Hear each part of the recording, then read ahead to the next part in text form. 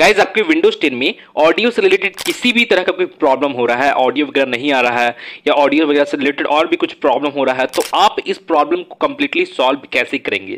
तो गाइज़ जैसे मैं आपको यहाँ पे पहला प्रोसेस बताता हूँ कि पहला प्रोसेस में आपको करना क्या है।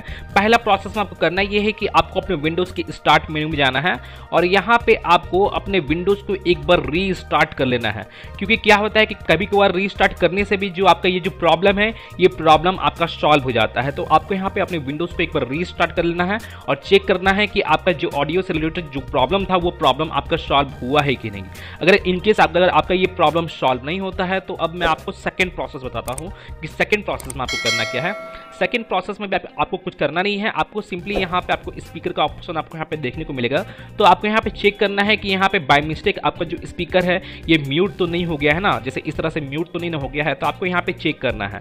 जैसे यहाँ पे कभी क्या होता है, यहाँ पे कभी बाय मिस्टेकली किन्हीं किन्हीं लोगों से मैंने म्यूट हो जाता है, जिस कारण से आपका ऑडियो वगैरह आता नहीं है, जिस कारण से आपको लगता है कि मेरा ऑडियो से रिलेटेड कुछ प्रॉब्लम हो गया है, कुछ ज़्यादा ही डिफ़िकल्ट प्रॉब्लम हो गया है, जिस कारण से मेरा ऑडियो रिलेटेड ये प्रॉब्लम शो हो रहा है। तो यहाँ पे आपको चेक करना है कि आपका यहाँ पे ऑडियो जो है, यहाँ पे म्यूट तो नहीं है।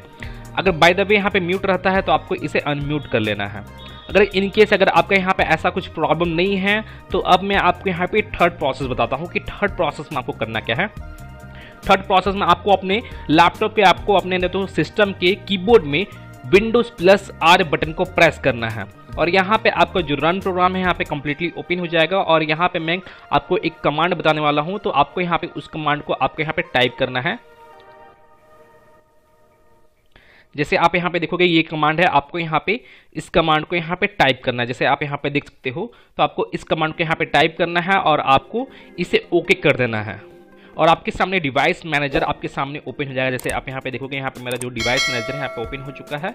और आपको अब करना क्या है कि जैसे आप यहाँ पे देखोगे यहाँ पे आपको एक स्पीकर का आपको यहाँ पे आइकन शो हो रहा होगा sound video and game controls का तो आपको इस स्पीकर पे आपको यहाँ पे क्लिक करना है और यहाँ पे जैसे आप यहाँ पे देखोगे यहाँ पे रियल टेक ऑडियो का यहाँ पे मेरा स्पीकर शो हो रहा है तो आपको इसके ऊपर राइट क्लिक करना है और यहाँ पे करना ये है कि आपको यहाँ पे अपडेट ड्राइवर का आपको यहाँ पे एक ऑप्शन देखने को मिलेगा तो आपको इस ऑप्शन पे क्लिक करना है और क्लिक करने के बाद आपके सामने कुछ इस तरह का इंटरफेस शो होगा तो आपको करना ये है कि आपको यहाँ पे सर्च ऑटोमेटिकली फॉर ड्राइवर्स पे आपको क्लिक करना है। और मैं आपको बता दूँ कि जब भी आप किसी भी ड्राइवर को आप अपडेट कर रहे हो तो यहाँ पे आपके सिस्टम में इंटरनेट कनेक्शन कनेक्ट होना चाहिए, तभी जाकर आपका कोई भी ड्राइवर हो, वो अपडेट हो पाएगा। तो आपको अपने इंटरनेट कनेक्शन कनेक्ट करना है, तब जाकर आपको यहाँ पे सर्च ऑटोमेटिकली फॉर ड्राइवर्स पर आपको क्लिक करना है। जैसे मैं यहाँ पे इस पर क्लिक करता हूँ तो यहाँ पे जैसे देखोगे, यहाँ पे मेरा जो ड्राइवर है, वो ऑलरेडी इंस्टॉल है ऑलरेडी अपडेट है। अगर इनकेस अगर आपका ये अपडेटेड नहीं रहता है तो यहाँ पे ऑलरेडी मैंने यहाँ पे आपका अपडेट होना स्टार्ट हो जाएगा।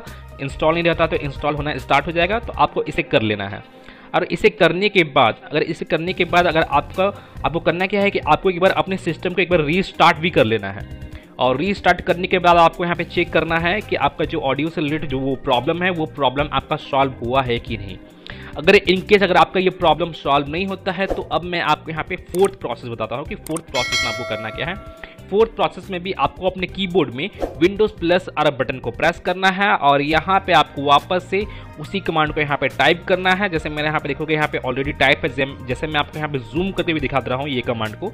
जैसे आप यहाँ पे देखोगे, ये कमांड को आपको यहाँ पे टाइप करना है और आपको इसे ओके कर लेना है और आपका जो डिवाइस मैनेजर है, वो आपका ओपन हो जाएगा।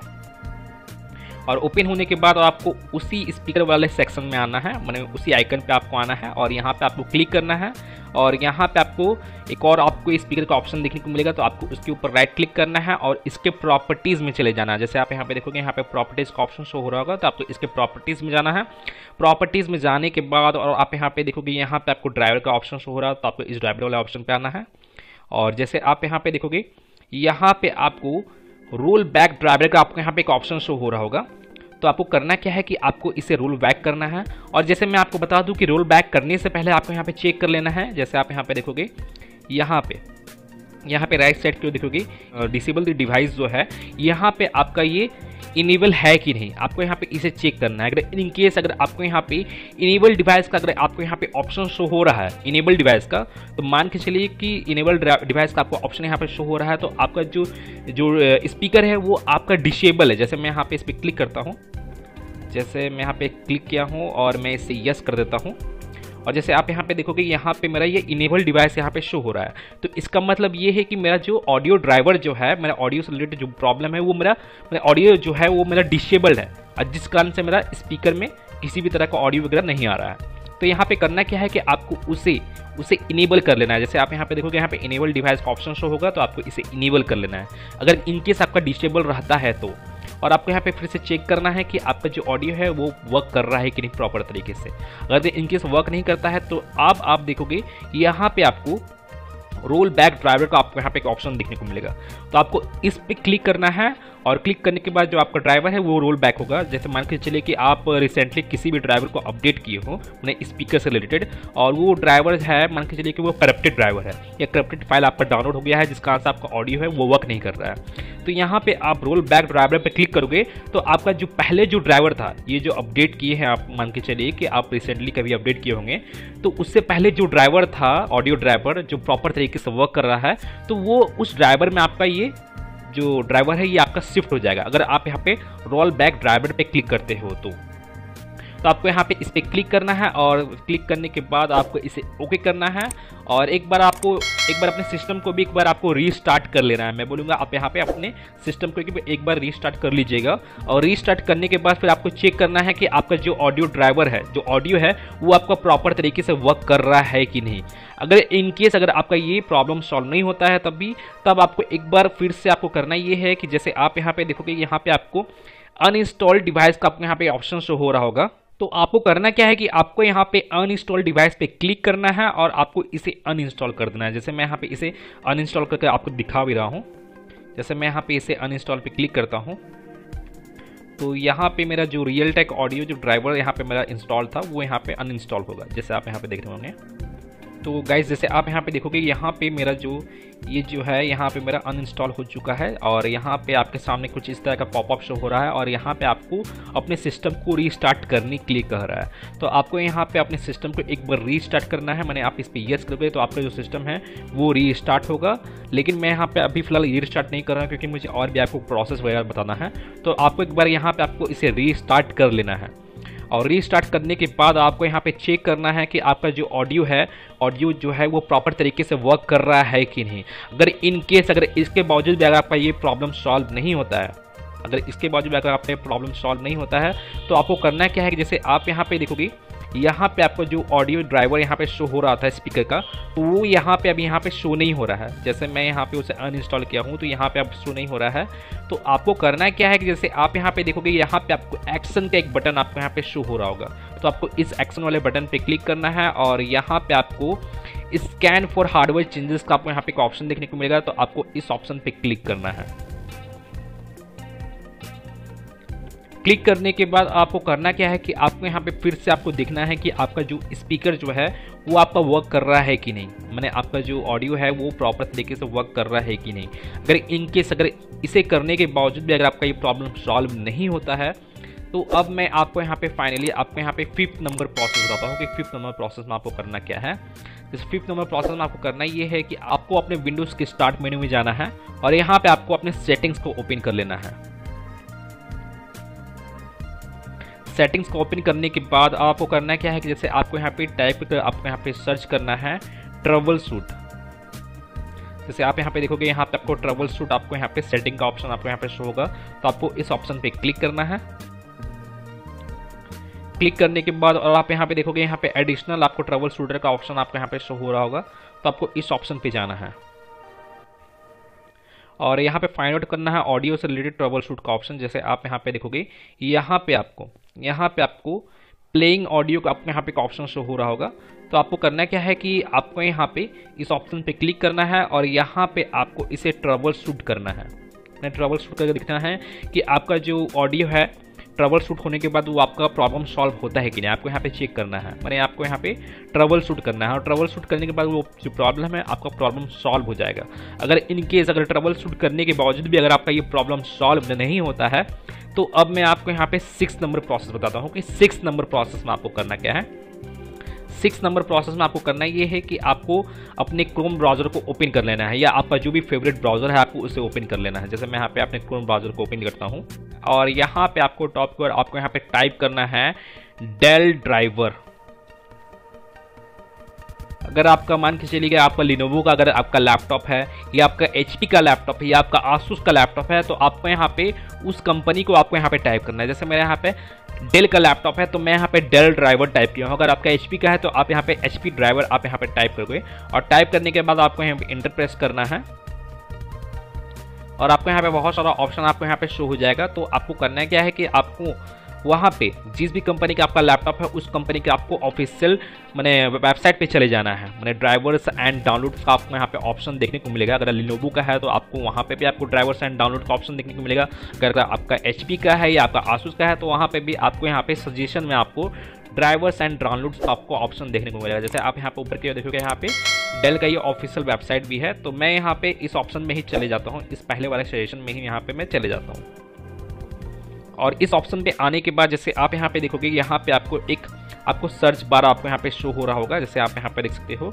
तो अगर आपको कोई अदर कंपनी का लैपटॉप है तो आपको वहाँ पे उस कंपनी के लैपटॉप का वेबसाइट में भी आपको यहाँ पे सर्च बार आपको शो हो रहा होगा। और आपको करना क्या है कि अब आपको यहाँ पे अपने लैपटॉप आपको यहाँ पे सीरियल नंबर को, आपको यहाँ पे टाइप करना है। और जिन लोग को मालूम नहीं है कि आपके लैपटॉप का सीरियल नंबर क्या है तो मैं उन लोग बता दूँ कि आप अपने लैपटॉप की ओर नीचे देखोगे, वहाँ पे आपको एक स्टिकर लगा हुआ दिखेगा। आप अपने लैपटॉप को नीचे की ओर देखोगे तो। और उस स्टिकर में आपके लैपटॉप का पूरा डिटेल आपको वहाँ पे मेंशन किया हुआ दिख जाएगा। आपके लैपटॉप का मॉडल नंबर आपका सीरियल नंबर आपको टोटल कुछ आपको वहाँ पे देखने को मिल जाएगा।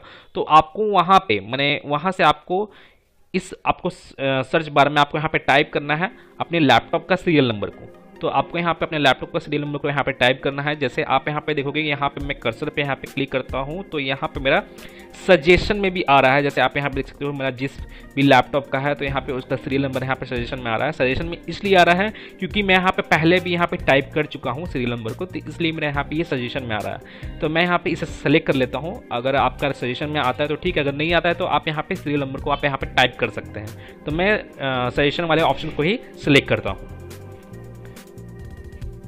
और आप यहाँ पे देखोगे यहाँ पे सीरियल नंबर टाइप करने के बाद आपके लैपटॉप का जो मॉडल है क्या मॉडल है और सीरियल नंबर है आपको यहाँ पे शो हो जाएगा जैसे आप यहाँ पे देख सकते हो टोटल डिटेल आपको यहाँ पे शो हो जाएगा तो आपको करना क्या है कि यहाँ पे आपको ड्राइवर्स एंड डाउनलोड वाले सेक्शन में चले जाना है और यहाँ पे से आप यहाँ पे इसे डाउनलोड कर स्क्रॉल डाउन करोगे तो यहाँ पे मैनुअली तरीके से आप यहाँ पे अपने ड्राइवर को आप डाउनलोड कर सकते हो जैसे आप यहाँ पे देखोगे फाइन ड्राइवर्स आपको यहाँ पे ऑप्शन शो हो रहा है तो आपको इस ऑप्शन पे चले जाना है मैंने स्टेप बाय स्टेप आपको यहाँ पे फॉलो करना है। जितने भी मैं स्टेप बता रहा हूँ, आपको यहाँ पे फॉलो करना है। किसी भी स्टेप को आपको मिस नहीं करना है।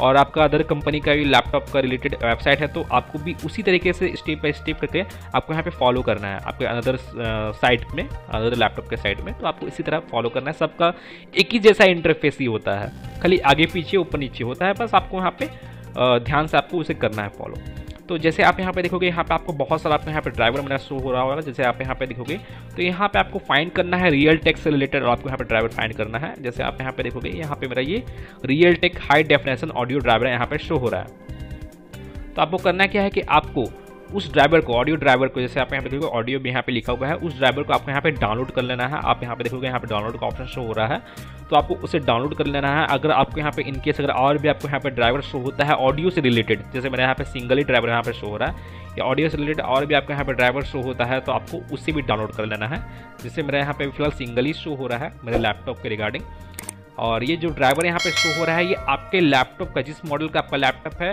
इसका जेनविन आपको यहाँ पर ड्राइवर आपको देखने को मिल रहा होगा। तो आपको अपने ऑडियो ड्राइवर को डाउनलोड कर लेना है। जैसे मैं यहाँ पे डाउनलोड पे क्लिक करके मैं यहाँ पे डाउनलोड कर सकता हूँ, लेकिन मैं यहाँ पे डाउनलोड नहीं करूँगा क्योंकि मेरा ऑलरेडी डाउनलोडेड है। आपको डाउनलोड करके आपको सिंपली अपने सिस्टम में उसे इंस्टॉल कर लेना है। इस ड्राइवर को आपको उसे इंस्टॉल कर लेना है। और इंस्टॉल करने के बाद आपको चेक करना है कि आपका जो ऑडियो से रिलेटेड प्रॉब्लम है, वो प्रॉब्लम आपका सॉल्व हुआ है कि नहीं। वो जो प्रॉब्लम है, आपका जो प्रॉब्लम आ रहा था ऑर्डर से रिलेटेड तो आपको वो सॉल्व हुआ है कि नहीं। अगर इन केस अगर इसे फॉलो करने के बाद भी, अगर ये प्रोसेस को फॉलो करने के बाद भी अगर आपका ये प्रॉब्लम सॉल्व नहीं होता है तो मैं आपको यहाँ पे नेक्स्ट प्रोसेस बताता हूँ। तो आपको करना है क्या है कि आपको अपने विंडोज़ के स्टार्ट मेन्यू में जाना है और यहाँ पे आपको टाइप करके सर्च करना है कंट्रोल पैनल और आप यहाँ पे देखोगे, यहाँ पे आपके सामने कंट्रोल पैनल का ऑप्शन शो हो रहा होगा। तो आपको करना क्या है कि आपको यहाँ पे अपने कंट्रोल पैनल को ओपन कर लेना है। कंट्रोल पैनल ओपन होने के बाद अगर इनकेस अगर आपके सामने कंट्रोल पैनल का कुछ इस तरह का इंटरफेस शो होता है तो आप यहाँ पे जैसे देखोगे, यहाँ पे व्यू बैक कैटेगरी का यहाँ पे ऑप्शन सिलेक्टेड है। तो आपको इसे लार्ज आइकन्स कर लेना है और लार्ज आइकन्स करने के बाद जैसे आप यहाँ पे देखोगे, यहाँ पे आपको रिकवरी का ऑप्शन आपके यहाँ पे शो हो रहा होगा तो आपको इस रिकवरी वाले ऑप्शन पे क्लिक करना है। और इस पर क्लिक करने के बाद जैसे आप यहाँ पे देखेंगे, यहाँ पे आपको ओपन सिस्टम रजिस्टर का ऑप्शन आपको यहाँ पे शो हो रहा है तो आपको इस ऑप्शन पे क्लिक करना है। और जैसे आप यहाँ पे देखोगे, यहाँ पे रीस्टोर से रिलेटेड मैंने सिस्टम रीस्टोर से रिलेटेड कुछ इस तरह आपके सामने इंटरफेस शो हो जाएगा। तो यहाँ पे आपको करना क्या है कि आपको यहाँ पे अपने विंडोज़ को मैं अपने सिस्टम को यहाँ पे कम्प्लीटली रीस्टोर करना है। और जिन लोग को मालूम नहीं है कि रीस्टोर करने से क्या होता है तो मैं उन लोग को बता दूँ कि रीस्टोर करने से क्या होगा कि यहाँ पे आपका जो सिस्टम है रीस्टोर करोगे तो यहाँ पे आपका जो सिस्टम है, वो दो तीन दिन आपका पीछे चला जाएगा, मैंने पास्ट में चला जाएगा। जैसे आप यहाँ पे जो भी डेट या टाइम आप यहाँ पे सेलेक्ट करोगे तो उस डेट और टाइम के अकॉर्डिंग आपका जो सिस्टम है, वो पास्ट में चला जाएगा, उतना दिन ही पीछे चला जाएगा। जैसे फॉर एग्ज़ाम्पल के तौर पर जैसे आप समझिए, जैसे आपका जो ये ऑडियो से रिलेटेड जो प्रॉब्लम है, ये प्रॉब्लम मान के चलिए आज आया है टुडे आया है, और येस्टरडे को ये प्रॉब्लम नहीं था। आपका जो येस्टरडे में ये प्रॉब्लम नहीं था और आपका जो ऑडियो था, वो प्रॉपर तरीके से वर्क कर रहा था। तो यहाँ पे आप अपने सिस्टम को रजिस्टर करोगे, एक दो दिन पीछे करोगे तो आपका जो सिस्टम है वो एक दो दिन पीछे, जो भी डेट आप यहाँ पे सिलेक्ट करोगे तो उस डेट में आपका जो सिस्टम है शिफ्ट हो जाएगा। और शिफ्ट होने के बाद आपका जो सिस्टम दो तीन दिन पीछे जैसा भी था, वो एज इट इज़ वैसा ही हो जाएगा। अगर मान के चलिए, अगर आपका जो दो तीन दिन पीछे आपका ऑडियो से रिलेटेड प्रॉब्लम नहीं था तो वो प्रॉब्लम आपका सॉल्व हो जाएगा। तो यहाँ पे आपको अपने सिस्टम को रिस्टोर करना है तो यहाँ पे जैसे देखोगे यहाँ पे आपको choose a different restore point का आपको यहाँ पे ऑप्शन शो हो रहा होगा तो आपको इस ऑप्शन पे क्लिक करना है और क्लिक करने के बाद आपको इसे नेक्स्ट करना है और यहाँ पे जैसे देखोगे यहाँ पे आपको डेट और टाइम यहाँ पे शो हो रहा होगा तो आपको इस डेट और टाइम को यहाँ पे सिलेक्ट कर लेना है जैसे मेरा यहाँ पे ये सिंगल डेट और टाइम यहाँ पे मेरा शो हो रहा है अगर आपको आपके केस में अगर इनकेस मान के चलिए थ्री या फोर और भी आपके यहाँ पे डेट आपको अगर शो होता है तो आपको करना क्या है कि आज के डेट के नियरली जो भी आपको यहाँ पे डेट शो होता है तो आपको उस डेट को आपको यहाँ पे सेलेक्ट करना है। जैसे मेरा, मेरे केस में यहाँ पे एक सिंगल डेट यहाँ पे शो हो रहा है तो मैं यहाँ पे इसी डेट को सिलेक्ट किया हूँ। और सिलेक्ट करने के बाद अब मैं इसे नेक्स्ट करता हूँ, और यहाँ पे आपके सामने कुछ इस तरह का इंटरफेस शो होगा। और यहाँ पे आपको अपने सी ड्राइव को सिलेक्ट कर लेना है, और सिलेक्ट करने के बाद आपको इसे फिनिश कर देना है।